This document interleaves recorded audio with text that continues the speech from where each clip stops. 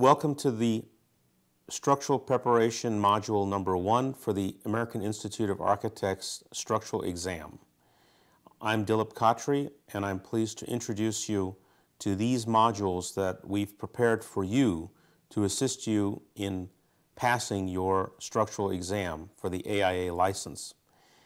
I've uh, been teaching structural engineering for over 20 years and I'm a practicing structural engineer in Los Angeles.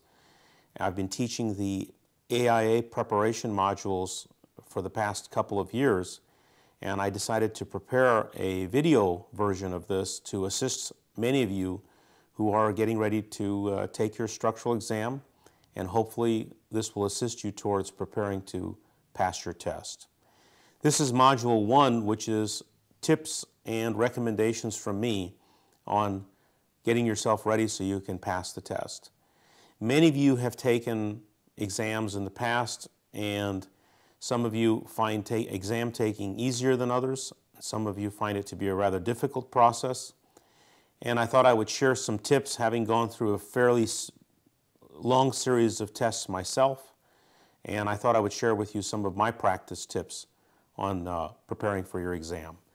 So to give you a few notes, first of all, when you prepare to take a test, remember that your first goal on any exam and specifically, we're referring to the AIA structural exam. But your first goal is to pass. And I know that sounds rather fundamental, but a lot of you, when you prepare for a test, try to go through some kind of soul searching experience that you want to learn more and you want to improve your skills.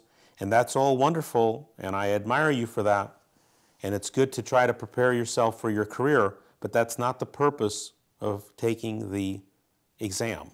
The purpose and the number one goal is to pass. After you pass, then you can expand your skills and you can go and learn more materials. Your first goal is to pass the test. How do we pass the test? Well, first thing we want to do is we want to set up a regular study schedule. It means that you have set in your mind that you're going to pass these modules over a certain period of time. The AIA exam is nine modules,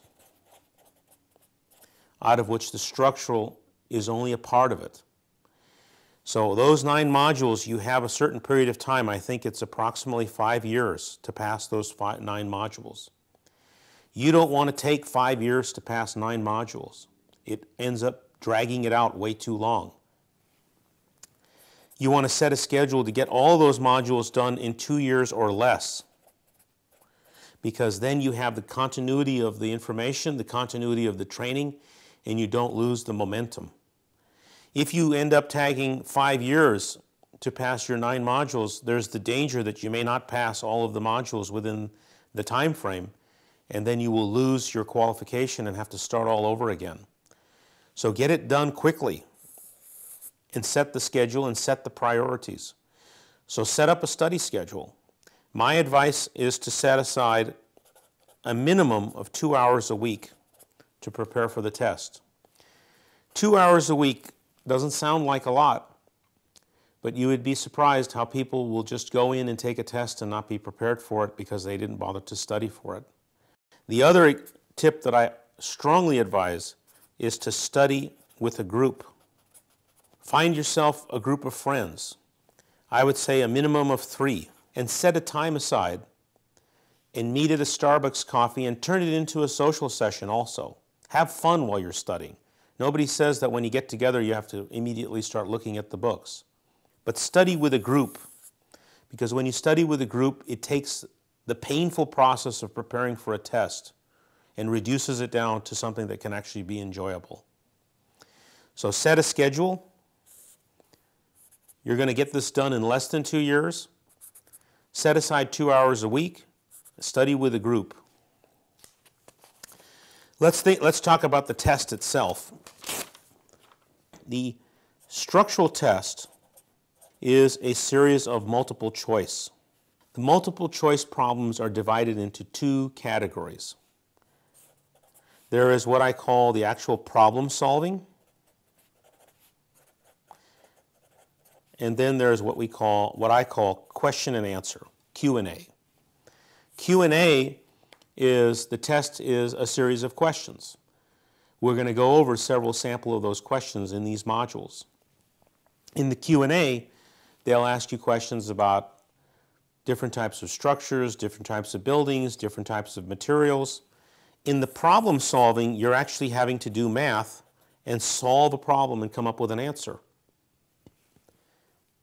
My suggestion to you is to do all of the Q&A first.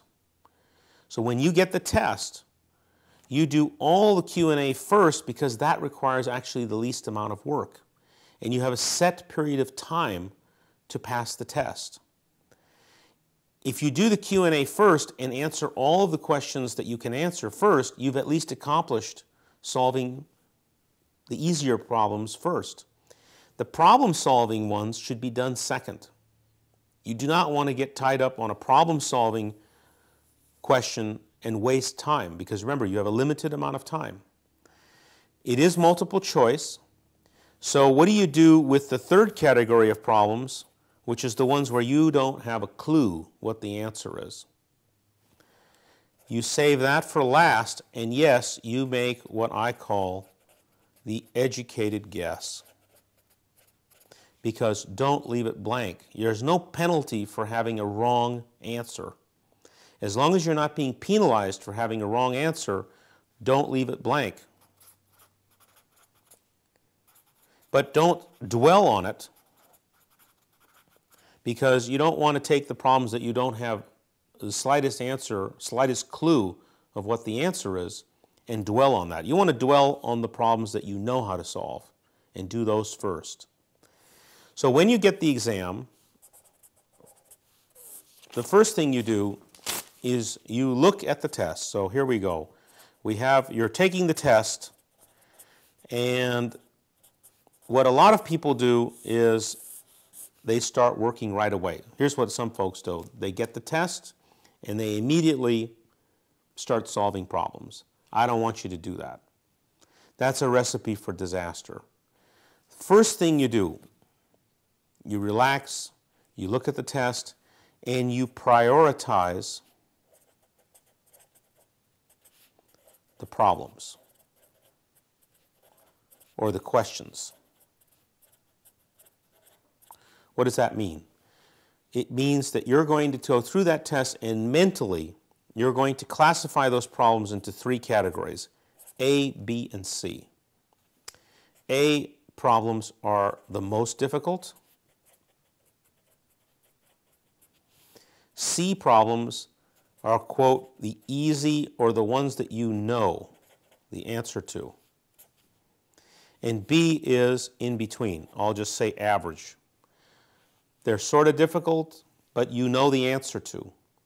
So you classify your question and answer into three categories A, B, and C. Which one do you do first?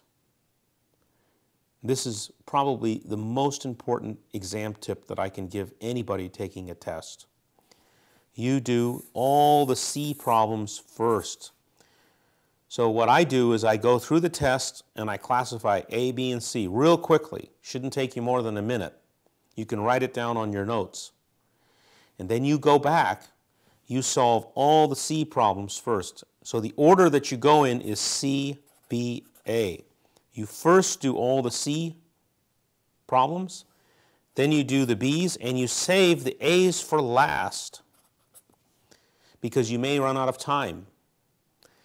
And if you run out of time, you don't want to lose points for not doing the ones that you knew how to do first because you have a limited amount of time, so you have to use it efficiently.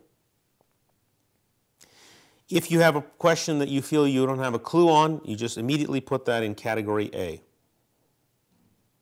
So we're going to first prioritize the test into A, B, and C categories, and then we're going to proceed in priority CBA in order to finish the test on time. My third tip, I know you hear this all the time, practice practice, and practice. The best way to pass the test is to do practice exams.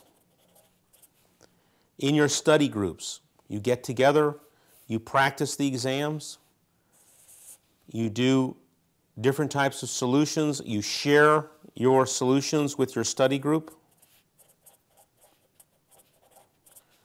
and you go back and you do more practice. And you'll pass your test. And after you pass your test, you go on to the next module, and eventually you'll get your license. And then hopefully we'll have a chance to work together. Thank you all, and I wish you good luck on your exam.